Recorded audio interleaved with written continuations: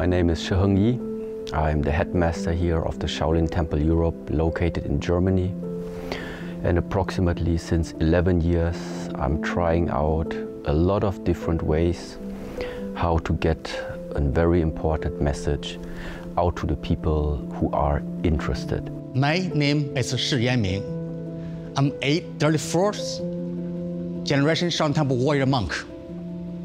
I'm the founder and the abbot of USA Shaolin Temple. My name is Yan Lei. My master gave me name. But I think this name suits for me because yeah, when you want people know you, you like thunder. People will know you. Uh, I tell myself, you don't have any luck. You have to work hard. You make yourself sunny. People will see you because you are the lights. People will find you. So this, this is my character. Over the years, I've got the pleasure of sitting down with some great Shaolin masters and teachers.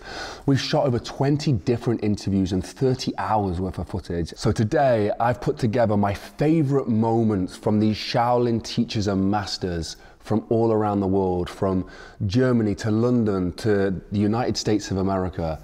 Here's that video. Today's video was made possible at mulliganbrothers.com where we are having the end of year sale. Use code 2024 at checkout with the link in the description for buy one get one free across the Not a Journal, the Success Journal that actually leads to success, and the Memento Mori posters, the posters behind me that remind you you will one day die. That's my life plotted out there and it is one of the most powerful tools ever. And also the t-shirts and hoodies all of the proceeds from the website make this possible. That's how we get our film crew around the world to be able to create these projects. Let's dive into it. I think something we spoke about a lot actually, but never put this terminology on it. And I don't, I don't know if you know of it by this terminology, but the law of attraction and how to use the law of attraction to manifest things into reality. I heard about this terminology before the law of attraction. I don't know necessarily how you would define it. But as I understand it, in a way, it is about, let's say, how to make something manifest that you want. If this is the case, then for me, starting very easily again, it starts with the smallest area inside of yourself it starts with the smallest aspect. Let's just take it as the world of thoughts. But the world of thoughts is not graspable. The only one who knows about it is yourself. So wanting to manifest something is now the question, how can you start expressing what you feel deep inside of yourself in such a way that the world of forms start to mirror it. And so what you again therefore want is, it's about harmony. You actually want that something which is sitting inside of you gets into direct resonance with what we have available on the outside. And I don't think there is a magic formula for this. What I know is that 100% hard work helps. Simple like this. So I wouldn't say that just think about it, just make your wishful thinking, just make your prayers depending on what type of prayers. But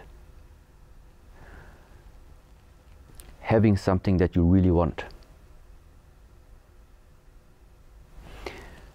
spending your time to already manifest it in the mind as good as you can, meaning make it feelable. Make your thought already start to go into the area of you can feel it. You can feel it, how it has entered your life. This is already a first step of, okay, now it's not just thinking about it, now you even feel it. It maybe is not there material wise, but you can sense already what type of an energy and in, which type of fluctuation within the flow of life actually that wish would put you. Okay, so that means you visualize something maybe, or you go into deep prayer about this thought that you have. Okay? This is what I regard as being a prayer. It's not just talking words. It's about diving in and trying to create that feeling, calling up, cultivating that thought that it really starts to become feelable. So this is one of the initial steps. What we have right now is what you are thinking and what you're feeling already starts to be still in harmony. Okay? And now practice and continuously and with patience. Stay with it. If it's important to you, stay with it. Keep on cultivating it slowly, slowly, but give yourself some time. Everything that happens too quickly, which is changing the status quo too quickly, first of all, it's not helpful for us and it most of time is also destructive. But if you really want something, I think this is the way. Slowly, steadily, wholeheartedly. Wholeheartedly meaning what? There is no doubt there. You are not doubting. There's no doubt. It just means it hasn't manifested like in the way that it's right in front of the eyes, but just because you don't see it doesn't mean it's not there. But why so pure heartedly? Because only the heart is the one that is, let's say, connecting us humans together. Only the heart is like that area that I would regard as giving the possibility of connecting. The heart is like the highest instrument, if you would say like this, the highest antenna to spread out the connection. And if you are sending from the heart the signals out to the universe, that there is something that that there is something you would like to receive. I think the best way to express it is when it comes from the heart. So that means because you already have it inside of you, because the heart is the magnet, because it's magnetic, that's why it pulls. That's why it pulls. Yeah, I express it now again, maybe a little bit fluffy again, but it attracts the energy which is surrounding all of us to finally manifest what thought, what emotion and what feeling and what wish and desire you have inside of that heart. It's pulling it towards you. And this is why now, when energy, strong energy, starts to come into your life, well, in order for something to be created, we need a lot of energy. So the ultimate question is always, if you want to manifest something into your life, you need energy for that. And what is the highest energy in this universe that we have? Some people call it sexual energy or it is love. It is the energy that carries the potential to create life. This is normally what happens when two people come together and then go into a partnership, go into a bond, and create out of love new life. There is no other energy that can create new life. Two people hate each other, how they create new life? Two people are jealous amongst each other, how they create life? No, there's only one thing. And so, law of attraction, or however it's called, I think it is based upon these type of thoughts. I don't know specifically, but once you are the magnet, you're pulling something towards you. This goes for all the positive things that you feel during the day or what you're cultivating, but especially like the negative. And I think even, yeah, maybe if you are constantly thinking about, worried about, fearful about something. This fear already went so strong that you feel it on a daily basis. And then you're wondering why it happens. This is also that sentence about the, how you call it, the self fulfilling prophecy. So, self fulfilling prophecy, law of attraction, for me, I think they belong to the same category right now. It's just when we talk about attraction, we relate it a little bit more to something that's a positive, because people most of the time want to attract something positive. Nobody wants to attract something negative. But if it is negative, well, then it's a prophecy. It's the same. Both of these things coming somehow from the same principle that makes this possible to happen the yin and the yang. Electric, magnetic one spreading outwards, one pulling towards. The forces of the universe. The forces upon which our existence, our way of thinking, our way of feeling, our way of acting, our way of behaving is always, always and always based upon. You talk, you bring the message out, you send something out. You send something out, yeah, other people receive it. Some people are electric, other people become magnetic. And this is that constant idea. Of course, I talk in pictures. But as soon as you are able to relate something about your life to this duality, then you know, okay, you are embedded into this way of life as well. You are part of all of this. So it makes sense to figure out for yourself what is there more. Okay? Then also now duality is like the very beginning, yeah? It's like yin and yang, this is what people know. Easy way also, now you have the symbol right in front of you. On the one side the black hairfish, on the other side the white hairfish, and now you draw a cross right with a, through the circle. So you have four areas right now. And there, what do you see? There is a small black area and a large black area. There's a small white area and a white and a large white area. Where the large white area ends, the small black one begins, and vice versa. So the message is there is not just duality, if you now dive deeper into it, you even see different transition phases. This is now the next step. There is a transition happening in the moment you are reaching a certain a certain valley or a certain peak. If you have reached the top of the mountain, there's only one direction where it will go.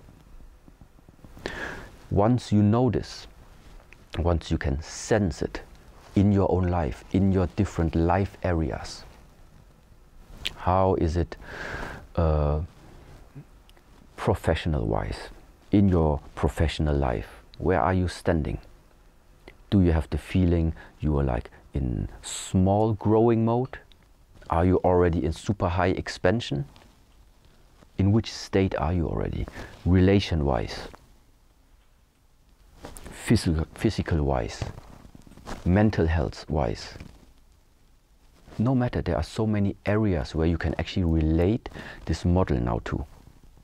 But it just gives you an additional idea that, first of all, what is most probable to happen next, or what are the possibilities that can happen next. Yes, and this is now the part where philosophy, old teachings, I think, can be used for application, but not for knowing. So knowing these things and being able to talk years long about what the philosophy behind it is good. These are so-called professors maybe. But the main part is to find a way to relate all of these teachings into your life. You are the one who is supposed to benefit from these teachings. The ones that wrote it, the ones that delivered all of this, they're not here anymore in this world. They left it here in case they left it for you to get the message and make it better than them maybe did it.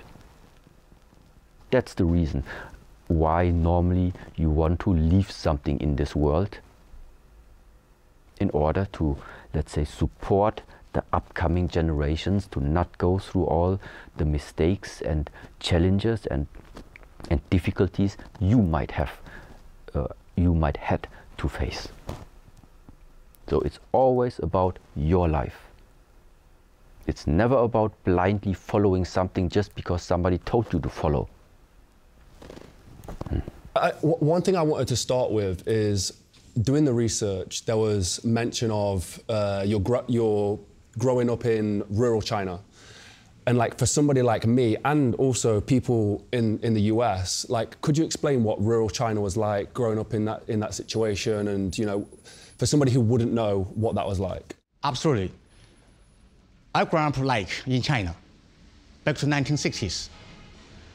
I was born in 1964, year of the dragon.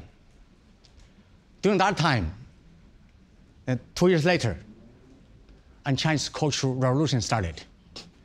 1966 until 1976, Chairman Mao died. The revolution ended.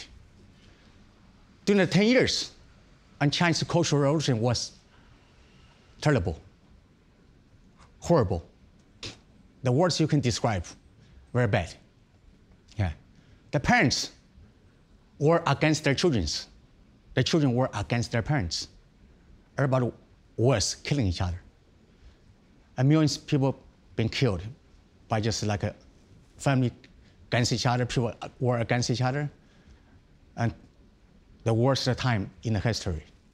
Your connection to the Shaolin Temple from that was uh, your parents have and, and your, your two older siblings.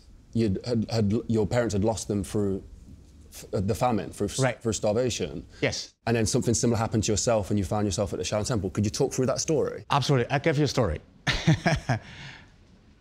I had two brothers died.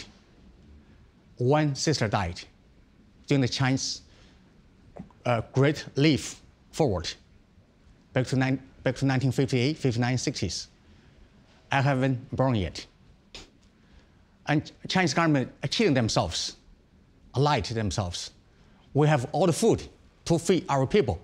We have everything. We're rich. That was complete lying. Right. That's why a lot of people didn't have food to eat. That's why I had two older brothers died. One older sister died. Also, my father almost died. The stomach, you know, he told me story uh, like this, all gas, almost blow up his stomach. He ate barks from tree. He ate leaves from tree. He ate grass. That time people ate people. Believe it or not, was terrible, terrible time in China.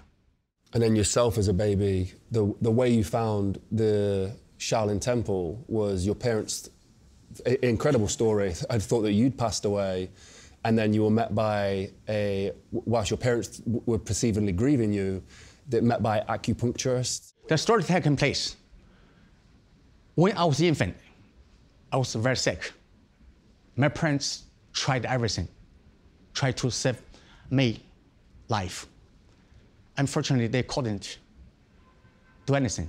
On the way to submit little dead body away, luckily, luckily, you know, on the way to submit little body away, you know, did, didn't have enough money to buy little little coffin, for example. Just use the blanket wrap my body. My parents were crying so hard. And the one person said, let me take a look. Maybe there's a chance can bring your son's life back. Yeah, acupuncture. Some Somehow bring my uh, precious life back. Yeah. Two years later, at at age five, my parents took me to the Shaolin Temple. Yeah, back to 1970s. And as a five-year-old going to the Shaolin Temple, what was that experience like? experience like it, Shaolin Temple didn't have a wall at that time.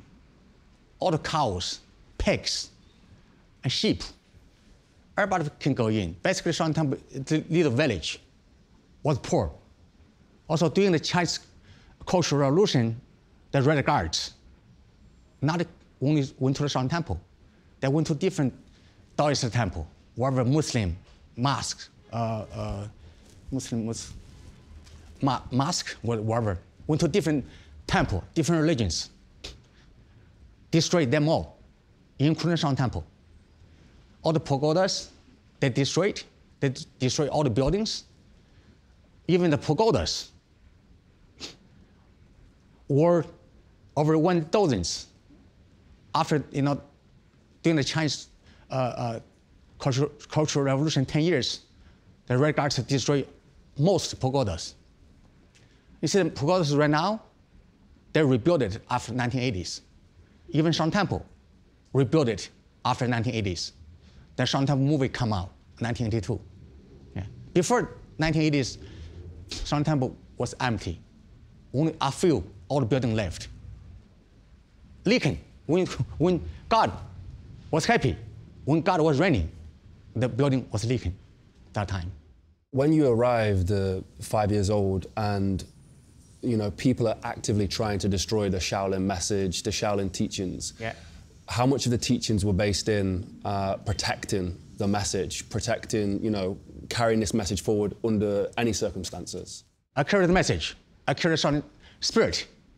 Yeah, that's why now I teach people. You're the temple. You're the monastery. You're the church. Yeah, wherever you go to, you carry the spirit with you. Yeah. Most of the time, basically, monks cannot stay in the, inside the temple. Regardless, say, get out. Get out. Everybody has to get out of some temple. Even Taoist temple. Yeah, everybody has to get out. Go home, marry. Yeah. Everybody has had, had to believe Chairman Mao's philosophy. Mao's philosophy was all the religions were ghost, yeah, God, garbage, snake. We should wipe them out, wipe them off, clean them up, clean them up, sweep, sweep them out. Yeah. Believe his philosophy.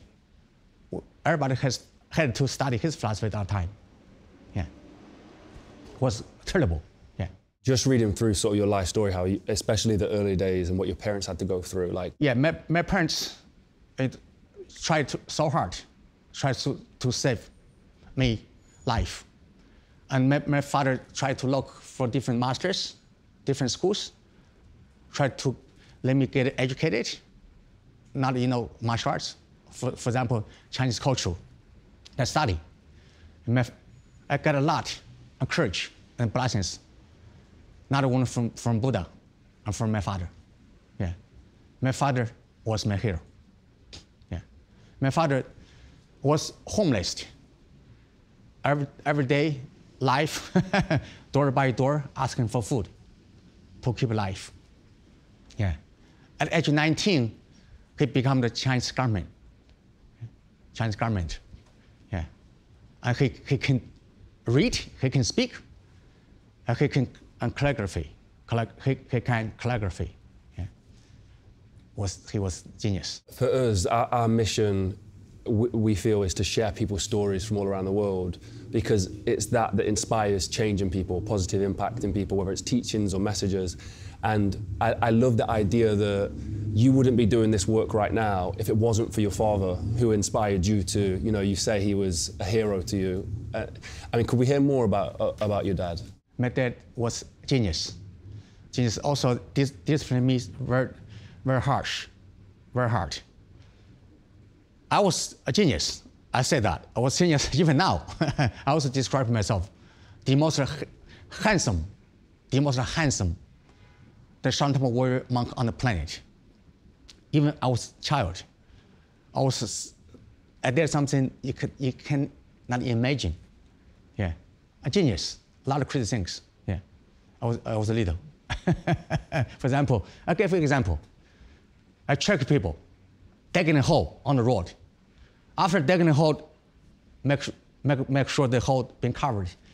Looks normal. You walk on it, boom, it's, it's, I check people. I did a lot of crazy things, yes. Yeah. Just for fun? I love it just for fun. Yeah. yes. And so, in the, in the Shaolin Temple, in those early days, what did a typical day look like? Like how the training? What time did you wake up? What were you eating? Tec- tec- typical like at the Shaolin Temple that time. Typical time looks like at the Shaolin Temple that time. Total different now. Yeah. Before 1980s, even even after Shaolin Temple movie come out, 1982, Shaolin Temple not a, like people thinking, a sacred place. Not like that. Not like the movies, you know, and people talking about it. In people's brains, already gave monks belief, gave monks respect, you know. They believe monks, you know, were like a god, like a untouchable, like, you know, cannot plant their feet on the grounded, very, you know, li- like levitating, live life in the air. No, that's not real life. That's not reality. The reality is truth. Everybody has to eat food. Everybody eat food, everybody has to use toilet. Everybody drink water, everybody has to go to pee. That's real. And before 1980s, basically, there's no exactly such a schedule. Yeah, wherever you get up, you get up. You train, you train. Try to thrive. Yeah, try to keep your life. Of course, later on, you know, China open to the world, especially the movie come out. That people come from around the world visiting Shan Temple. And Shan Temple has to make like an image. Oh, get up off the bed for early and pray. Amitofo, Namo Haladanador, Nam Ali Sopole, for example. Yeah. Before that, no, no schedule. Yeah, I've been real. I love the fact that you you talk so honestly about it as well. Understand, first respect yourself. Other people can respect you. Be honest with yourself. Other people can be honest with you. That's like a both side, not only one side. Yeah. Yeah. I've heard you talk about now uh, in Shaolin teachings, it's a little bit softer. They can't be as disciplined or as uh, I don't know what the word would be, but people would say it was abusive now or child abuse. What you had to go through. I mean, what was that sort of training like? Like, was it like do thousands and thousands of push-ups, or was it was there anything in particular? Protected training, eh, like in the Western world, we believe, like, like abuse your child. Yeah, you know, abuse, abuse. But it, it, in different country, different culture, and different philosophy, and to, to, uh, to different philosophy, to knowledge their child, to give knowledge to, oth- to their people. But I appreciate that. You know, for example, I was like I was like a monkey. I was so genius, playful, and trick people. I've been punished by my, my parents, by my teachers, different masters. As for example, go stretch. Okay. Get down. You don't get down, a teacher just hold you, your little body, your shoulder, put legs, boom, like this. That's why these days, look, this, this is, this is appreciation. This is appreciation. My parents, my, my different masters. It gave me love. Of course, like the, for example, different words for abuse, not abuse in my in my heart, in my life. It's love, it's courage, it's knowledge. That's what I carry on that. I appreciate that. I represent Shaolin. That's why I describe myself the most handsome, the warrior monk on the planet. Yeah, not only Shaolin Temple warrior monk, the monk. Speaking philosophy, I can demonstrate.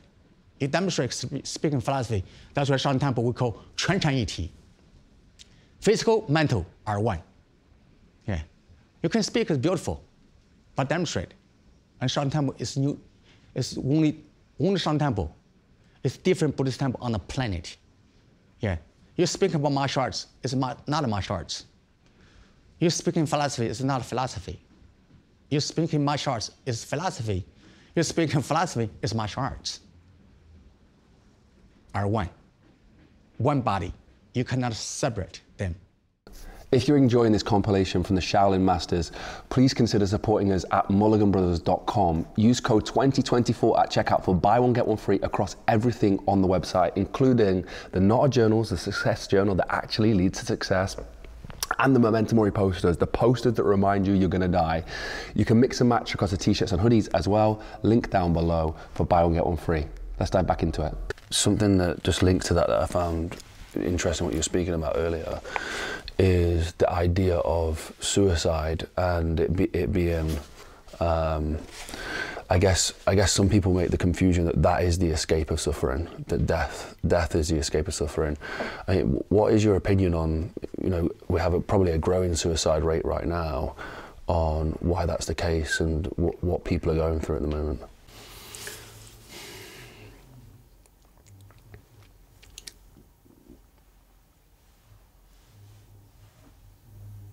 No, in a way, it's it's sad to just realize that sometimes people have the feeling that there is no other escape than that one. Already, that there are people existing that are so desperate and are so much under pressure of having this type of feeling that there's no other escape than that one. That's already a sad story by itself. No matter where that pressure come from. I mean now, um, one of of the highest rates, as far as I know, is also, for example, Japan. Yes, and over there, very often also related to failing at work. Now, this is Japanese culture is nothing I would like to talk about because there are other specialists who know way more about it in the way also of what type of um, values they have. But there, one reason why people commit suicide, let's say, is also because of shame. They cannot take the shame of having um, of having failed, let's say, in a certain area. But this is very much now related to a certain codex that you have put upon yourself. But when we now switch away from Japan and go to the Western nations, over here the suicide is not being done because of shame. I don't think many of them are because of shame. There might be some cases, but the other ones is just they see no other option. It's like a one way street. And this is something that I think, with the opening of possibilities, they need to be educated just in the same way. That's all. That's all what this is about. People need to know options. If nobody puts additional options in their minds, they cannot see it by themselves. And yeah, it's it's really a difficult topic. I don't I don't know what to say to this, to be honest. Yeah. I'm, I'm interested. Do you feel that we've covered all the lessons from from the, like this ritual of tea? Um, do you think there's, there's something else there? I, I, I, don't want to skip over everything whilst we've got you here in this ceremony. I'd love to just make sure we're covering all bases. So, you know, this why also when we are having our food ceremony, mm. so before eating, we also have like a small prayer, which actually is expressing the same that we also talked about uh, right now over here. Meaning, from time to time, to be reminded. There is a story behind all of this. There is a story behind the food. Because intention is what fuels life. Intention fuels life.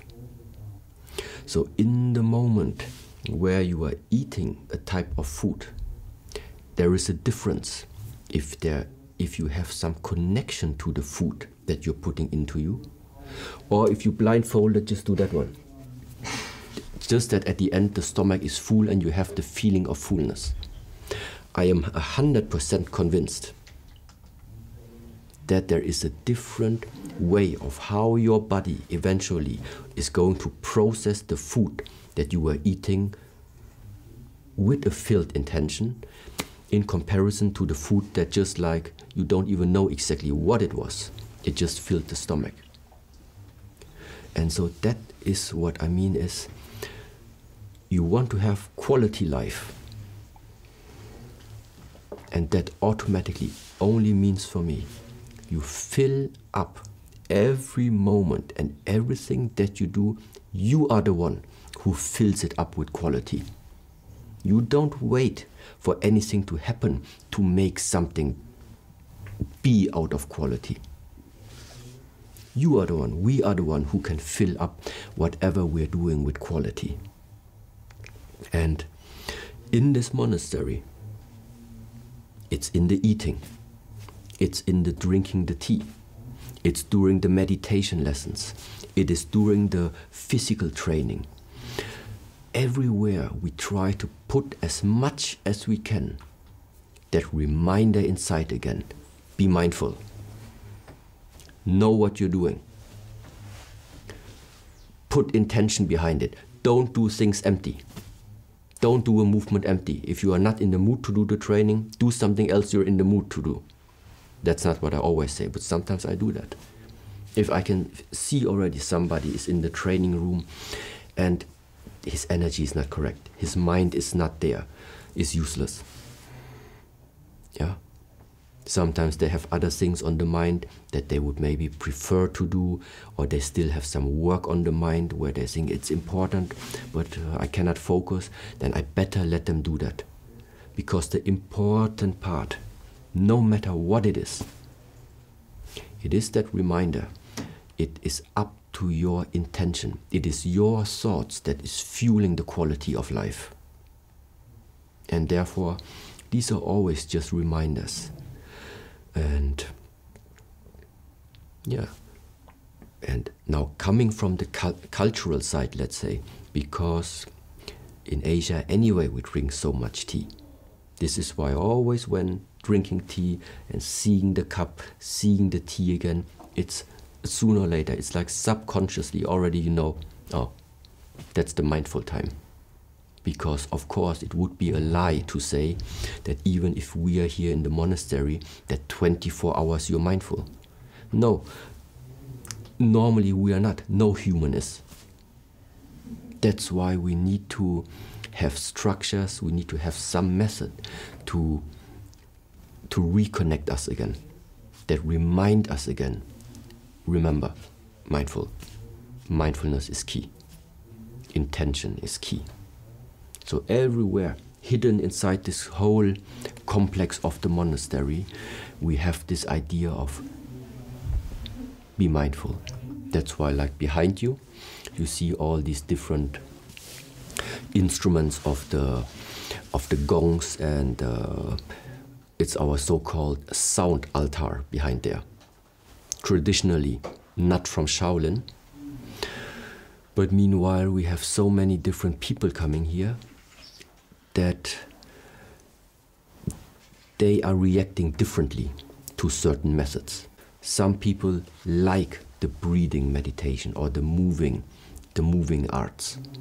Some people understand the message by drinking tea. And other people understand the message by following a sound.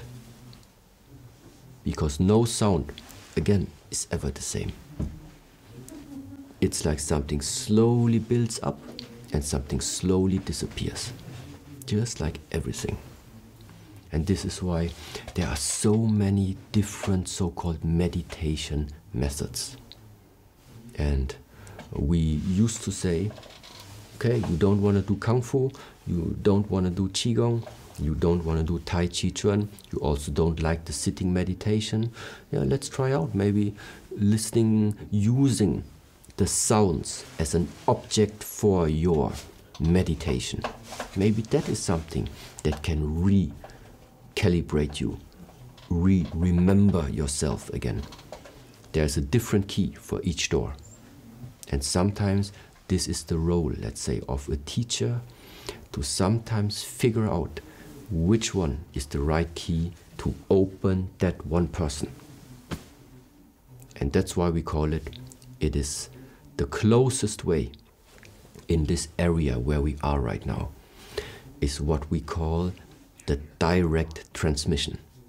There are some things you can, of course, um, share on videos or share through books, but there's also something which ultimately can only be shared when flesh to flesh, human to human, sit next to each other. Mm-hmm. That is what we call it's the direct transmission. Yeah, I, I, think I think just the idea of transferring these teachings to be mindful in day-to-day life, like the everything that you spoke about today, the ritual, the you know the thinking about the process of how this tea got here, the uniqueness of every single cup of tea. Um, how do we apply that to, or how would you feel that people should apply that to their everyday lives? I think it's time to really give sense, to give purpose, and to give an understanding to the things that you are encountering in this lifetime. In this talk, for example, today, we mentioned already very often mindfulness. That word is out in this world so often right now. But take your time and think about it. What does it actually refer to? How can you personally use that word in, com in combination with, with what I just try to, let's say, express over here? Mindfulness is not the absence of thoughts. You are not trying to get rid of the thoughts. Mindfulness means your mind is full mind full, but it is full of something that you chose, you individually chose. This is my purpose. This is my intention of why I'm doing something. You do your work, put some intention behind it. You are speaking to a person, be clear about your intention. Why are you speaking to the person? You are texting something, be clear about what is your intention, why are you typing it, and stop doing stuff in this world that doesn't mean anything to you and that has no intention. Because the whole point about why do I need this intention? Because only intention mobilizes energy. And why do we need mobilized energy? Because only mobilized energy is creating something. What do I mean? If you continue doing stuff without intention, the result is going to be the same. You create nothing. Yeah, so it, it's like you, you never sent the messages because they were empty. And so this is the moment now where you practice from the moment you wake up in the morning. Don't do unnecessary things. Brushing the teeth is not unnecessary. There is a purpose behind it. There's an intention behind this. You want your teeth to be healthy. That is an intention. You drink the coffee you would like that you wake up a little bit more and be a little bit more active. Why do you want to be a little bit more active? Because with that extra power, with that extra energy, you can work more efficiently. You can um, work more. You can work better. You can do more things the whole day long. And why would you want that? Because you want to help we want to contribute to something bigger. There is a whole range of intention that each individual can put into his daily life. Yeah? I can't say what are you supposed to, uh, what type of intention you're supposed to put in there. That is the special part. That it is not about what you do, it is about how you do the stuff.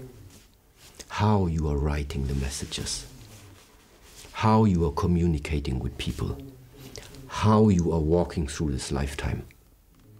It doesn't matter what you do, it's the how. And this is something which is way bigger than, than, keeping, than keeping it limited to a Shaolin temple. It's just that within this temple, we have our ways.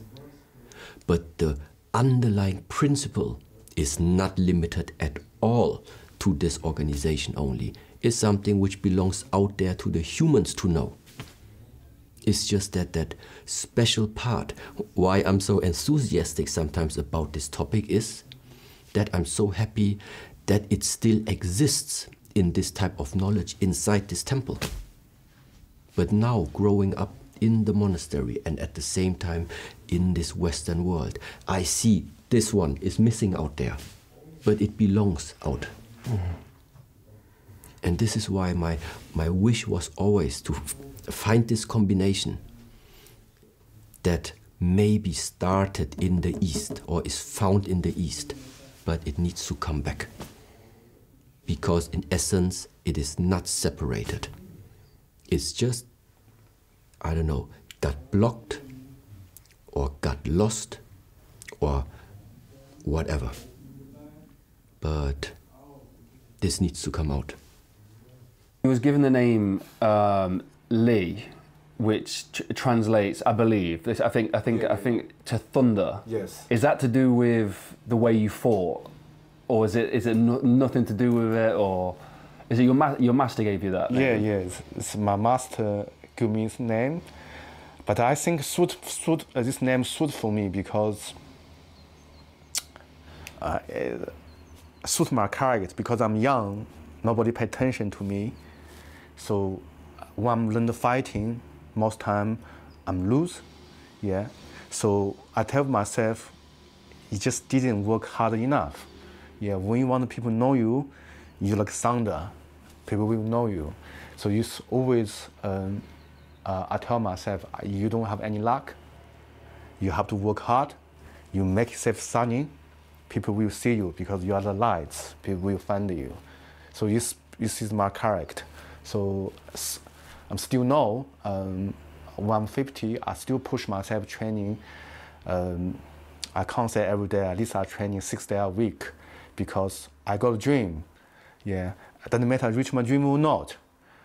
I enjoying the journey because I know my life never go wrong because I got a target. Yeah, I focus my target. Um, um, I don't know when I will reach it, but I know I will not lost my discipline because I got a target. I love it. That's so applicable to everybody. Like even a bit in business, like that is so yeah. applicable. Um, one of the things I wanted to ask you was, what is uh, Shaolin? Is it qigong? What does it? What does qigong mean? When you do the physical, for example, when you do the when you when you do the uh, push up, squats, or you do the weightlifting, okay, you just use your body, yeah, use your body to creative, make your muscle bigger, what, make your muscle tough, whatever you're doing, but uh, you never practice your organs. Yeah, you never try how to make your lung better, how to make your liver better, how to make your kidney better. But qigong is try to focus inside your organs but the, of course, I use also use different movement to make your lung, your liver, everything open, make circulation move properly. For me, the martial arts, the qigong is martial arts, not separate. For me, it's all one sense. But you know, the life have different kind of people. Someone work really hard, someone don't want to work really hard. So when people don't want to work hard, they choose something they think they can do it. Qigong is not, they don't, they don't need, you don't need to have stamina, so you can do it. Yeah, you don't need to be strong, you can do it. Yeah, so this reason people choose the Qigong. But for me, it's not Qigong not strong, it's you are not strong. You can do Qigong very, very strong way, but you don't know how to do it because your body not strong. Yeah. For example, if you want to change your body, you have to work hard. You do push up, you make your arm strong. I say push your hand as hard as, as you can. Yeah, but you don't have strength, so you can't push hard. It's limited. So it just means you can't open your body. So for me, you mixed together, yeah, physical, you train your body, you use the body, you train your body, you use the body, and you look after your body. Mixed together. People go to gym, training their body, use their body, finish. They don't do anything, look, they don't lock up their body. So this reason, when you're young, you're fine. When you're older, you got trouble. If you do lifting, uh, lifting weight a lot, and after you don't stretching, your body will be stiff. You're muscular, but you're stiff. When you're older, your life quality dep- not depends how much muscle you have, depends your organs how strong, and depends your body how flexible. Yeah, depends these two important things. Yeah, after of course your strength also important because you lose your strength, your joints very weak. Yeah, but the other two is important. Not you have a lot of muscle. When you're old, when you look people 90 years old, they, they don't have muscle, correct? They're, lost. Yeah. But if you can lost muscle, but you don't lost your flexibility, you don't lost your organs, this make your life can going longer. Talk about strength. Um, I've seen some of your demonstrations online um, where you'll have big sticks broken on your body, and how how do you train for that? And what what's a demonstration supposed to represent? I'm, I'm seriously, I'm not training for broken that sticks. This is for performance. This is easy thing to do. Uh, break sticks because you, number one, you choose a stick that can break. Some stick you never can break, they're so tough. So it's performance. Just say your body uh, tough than normal people. It didn't mean anything for me. I'm practice this is for when young, I practice for fighting. I can take people punch, kick me. Yeah. When I'm old, I practice for circulation. Yeah. So when you use the uh, stick or whatever, bamboo brush, metal brush, beat your body, it looks like a massage. Then make your circulation move.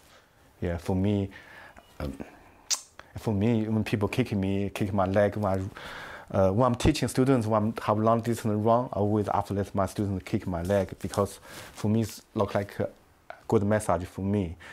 Sound like a joke, but it's true. For me, I can make my leg feel better because circulation move. Um, yeah. How you don't mind me saying there's a few you've got a few scars on your body. Is that through practices of Uh, no, when, we- when I'm 18, uh, uh, uh, uh, uh, I'm working in a um, nightclub, um, you know, my first job, because number one, when you go to temple studying martial arts, you need to pay money. okay, not for free. Yeah, maybe you teaching for free, but you need to pay your food. So I need to get money. So I need to go. I go to the uh, nightclub. My job look like uh, I collect money. When they finish, I take the bank. It's my job. So nobody know me. I'm just in the corner. So it's from uh, street fight. So it's knife uh, because uh, you know it's long. It's long story. Uh, uh, for me, everything happened for me. I always tell myself, anything happen have reason. You know, that day don't make sense. One day will make sense. For me, that makes sense. For me is because, um, you know, life you have problem. You have problem. You know, you can't always. That didn't kill my confidence. It just happened.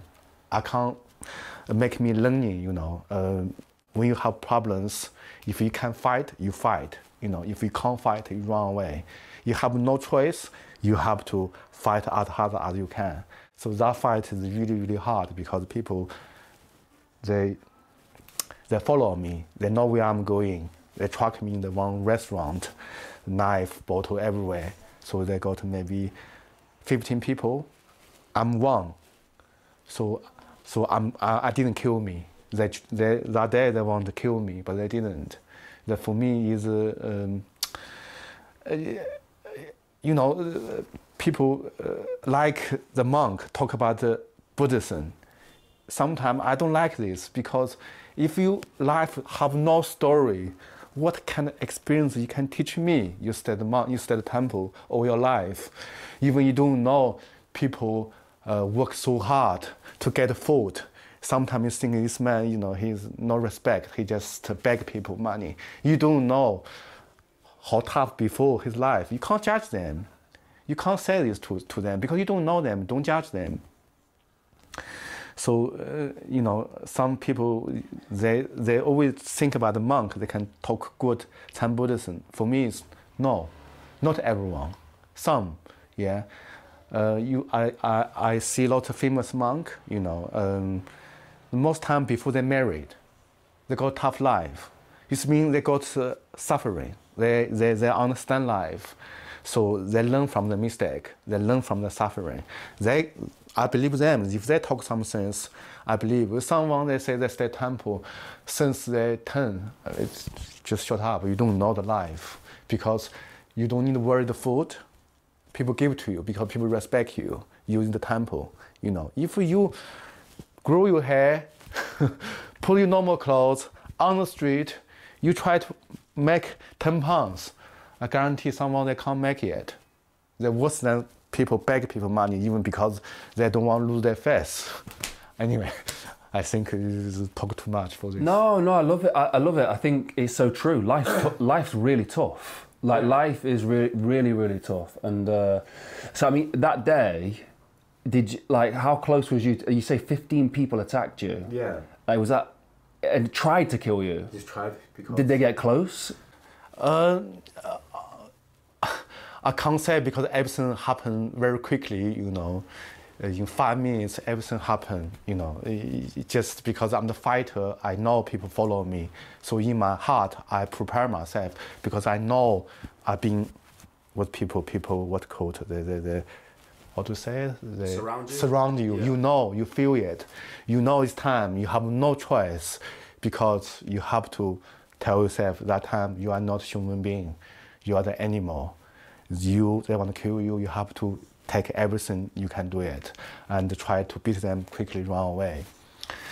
I, I'm lucky. I just uh, most injured. This is this arm here, and here, broken. My arm broken it's a funny sense and uh, when, when, when this arm broken so i think this arm is finished but most time when i'm china i'm a fight over my left hands lock people out not my right one Do you think that your uh, kung fu practices and your discipline saved you that night? Like, do you think you would have been like? yeah i think is of course my kung fu and the discipline also my character tough you know you, you you have no choice. You tell yourself you have no choice.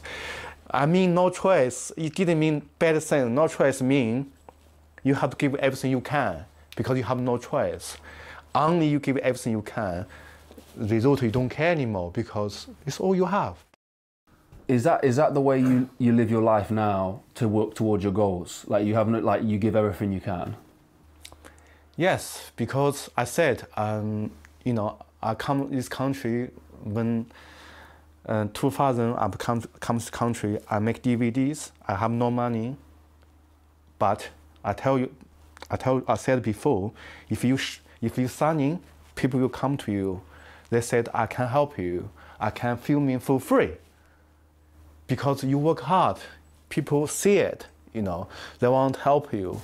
Uh, this is my character. Then I make DVDs, I write in book, I make a movie by myself. Everything I do my, by myself. I do online teaching by myself. I can't editing. I don't know how to editing. Then not editing. Stamina, you know, you don't need editing. Don't need to cut, cut, cut. One go straight away. Uh, it's for me, life don't need to be that tough. But for me, because I said it's because I, my background make me thinking that way. Yeah, everything. Um, I need to prepare myself.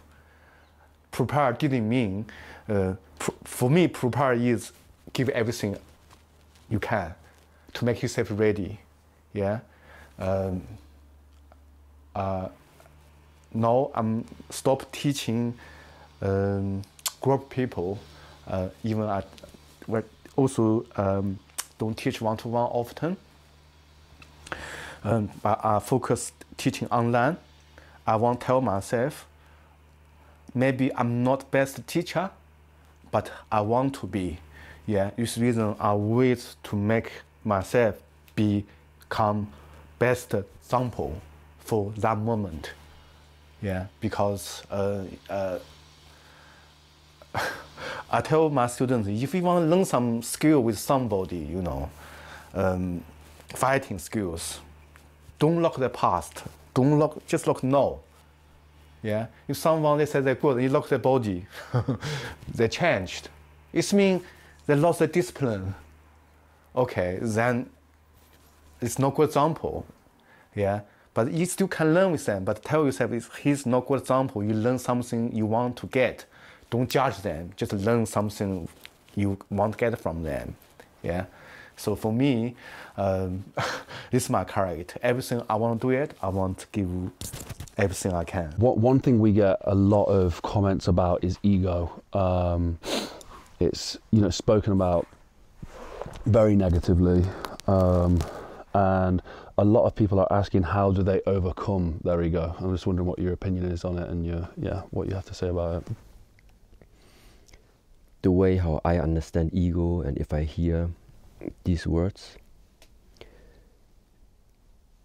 it's for me very close related to identification. If there's nothing you are identifying yourself with, I think it's difficult that somehow an ego starts to arise from it.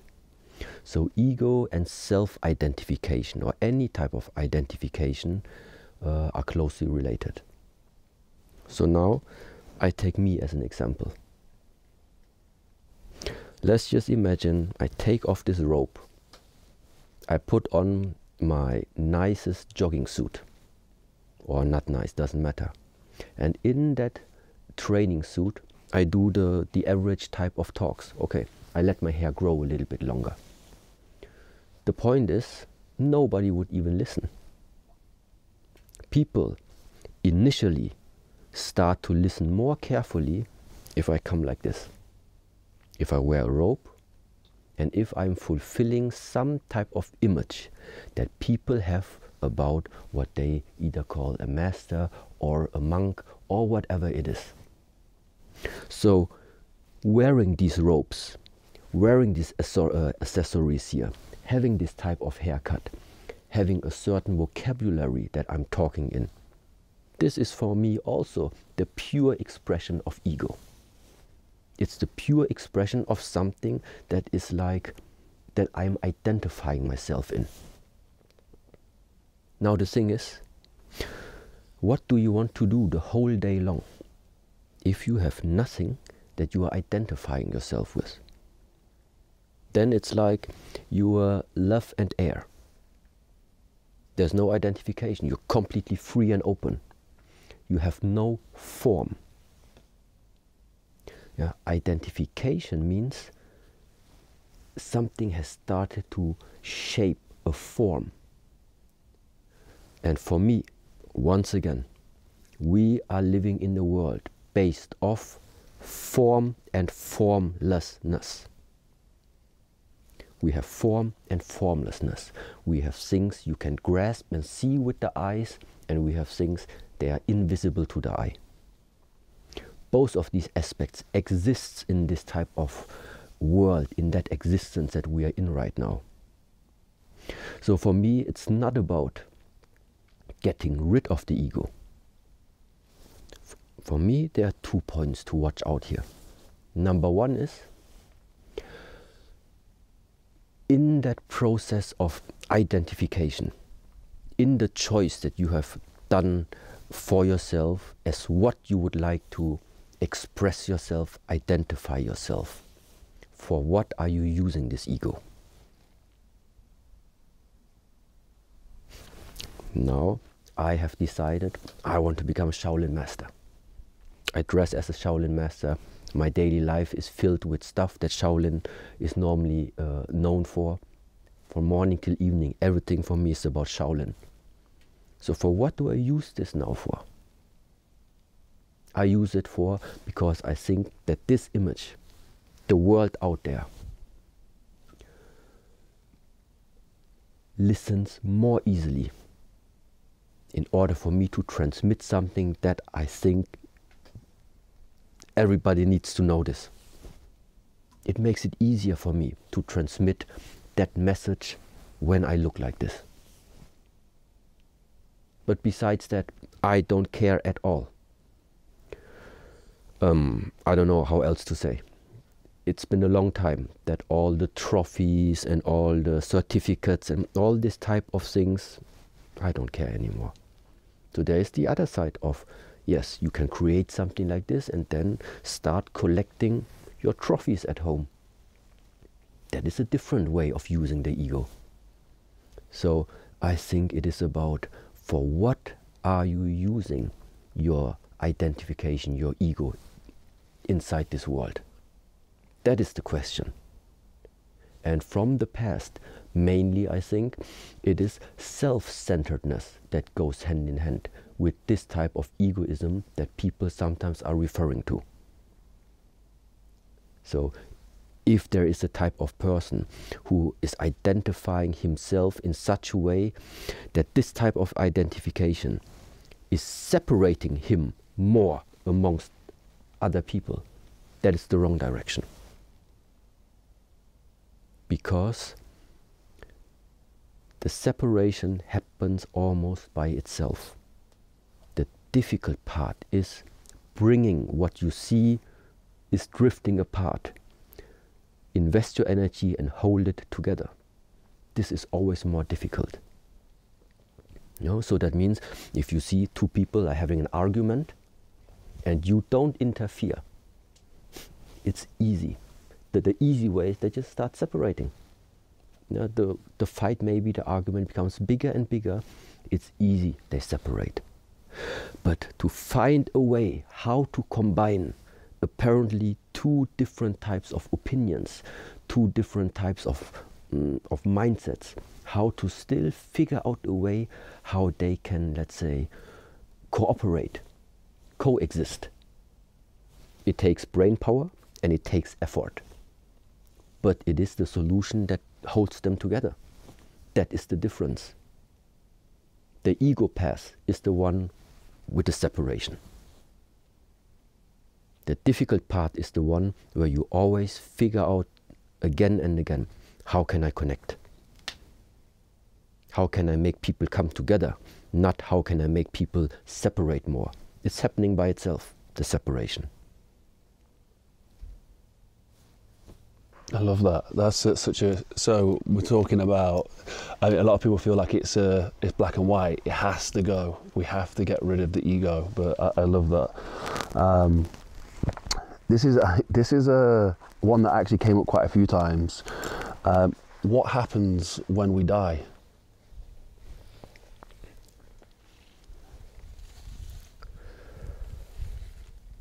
I don't know what's happening with each individual. I can say what my observation, what my view tells me right now. It can't just stop. It can't just stop. Since the beginning that we were born, your heart goes up and down. Your heart pumps the blood. Your lungs, they inhale, they exhale. The stars turn, the earth is turning. It's the constant exchange between up and down, left and right, in and out, day and night. So something that I witness around, something that is that we are embedded in, is that existence and that interplay of two forces. In China, in Asia, we call them yin and yang. Now, if I would ask you right now, so how do you call this? Meaning, what what time of the day do we have? Night night time. Now, Actually, I would now say, but I don't think so. It is nighttime because we are sitting right now here in, in Otterberg and are localized and are answering from our perspective being here. But let's say the real answer would be it's day and night at the same time. It's based on from which perspective are you talking about. Now, the funny part is it has always been like this. But things seem different for us. We think that right now we are alive. Right now, this is life. We are alive. Later, hopefully, 50 years later, then comes death. So, what is it that we are, let's say, thinking that life and death is something which happens chronologically, one after another? Who is saying, and it happened many times in the past, that life and death, both of them, is here right now. You, in, in the media, every day it happens. People die from one second to another, out of whatever reason. It's unlikely things can fall from the sky right onto you. It's also finished. The point is how we come up with the idea that death would be something that comes way after. So, one way how I took this thinking process out for myself and what it means for me is automatically when some thought like this gets really deep into you, what automatically happens is you appreciate the lifetime right now more and you are more careful about what you do. Those two things automatically start to arise in the moment this thought enters into your flesh and blood. Yeah. So, and therefore, I prefer to not even think in these terms of death comes later, what comes later. I focus on what I can do right now with what has been given to me. This is what matters to me. Because what what should I say? I think it's not going to happen if you have a person who during the lifetime is used to waste a lot of energy, waste a lot of lifetime. Even if you give him an afterlife, it's going to be the same. Because why else? From where should this switch of mentality suddenly come? So, waiting for better times to come, that you change something about you, is not going to happen. It's an illusion you might think you're putting yourself into. You want to bring out something good, something, the better version about yourself, it's not going to happen in the next life. what you do right now, this is what you take to whatever to come afterwards. And this is now really also the reason why there are existing so-called Qigong methods, energy cultivation methods, aiming in exactly that. Um, how I express this.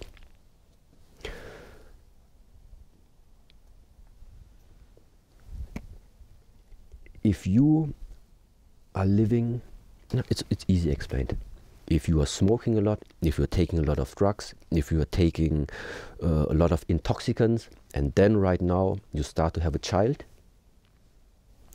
your child gets part of this information that you have embedded, first of all, into your body.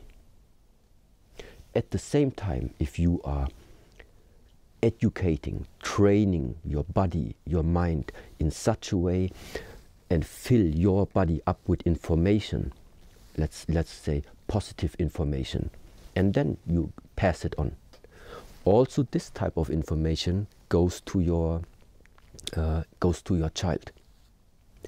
So, the better you are developing yourself, the more easy it is going to become for your child to go on because he has already something that you, let's say, um, worked for, yeah, that you developed already.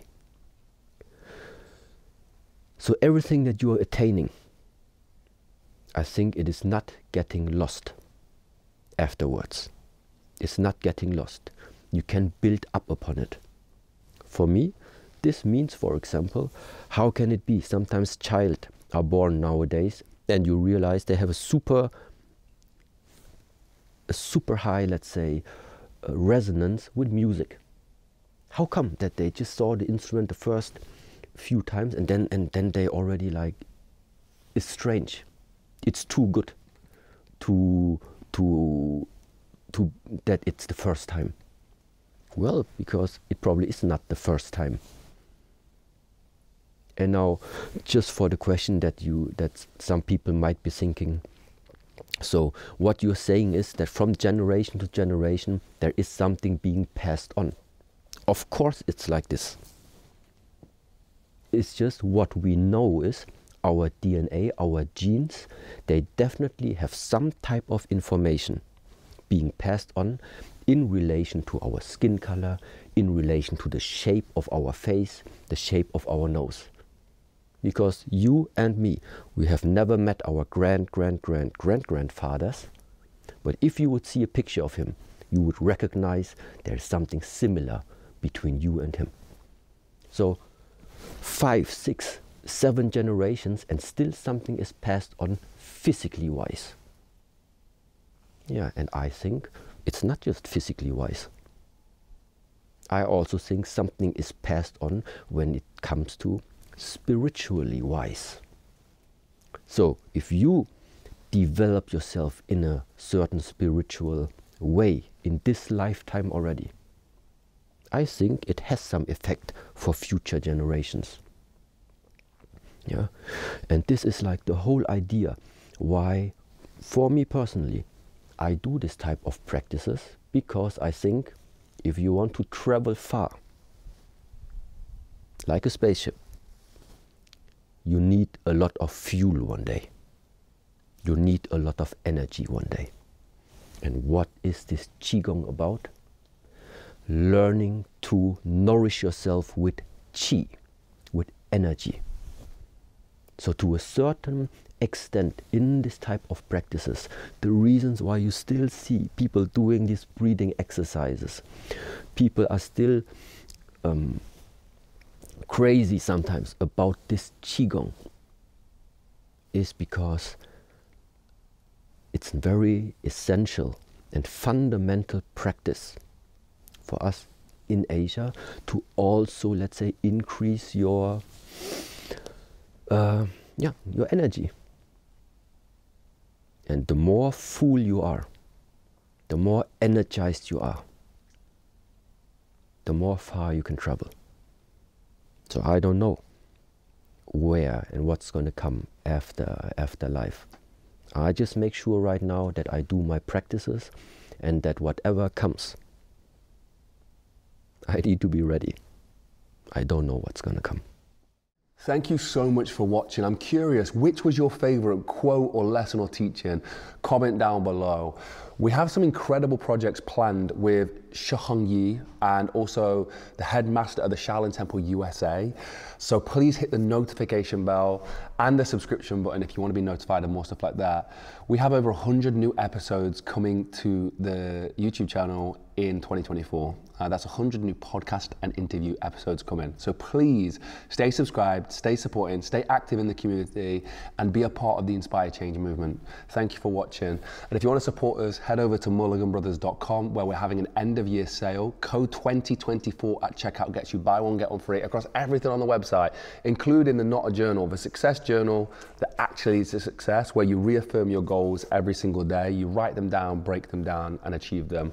And also the Memento Mori posters, the posters that remind you you're going to die. That's my poster with 30 years plotted out. I fill in a box every single year. I've got one at home on the fridge as well, and I, I fill it in. And it's humbling to understand that there is a square on there that I one day will not fill in. I don't know where it is. It might have been the one I filled in this morning.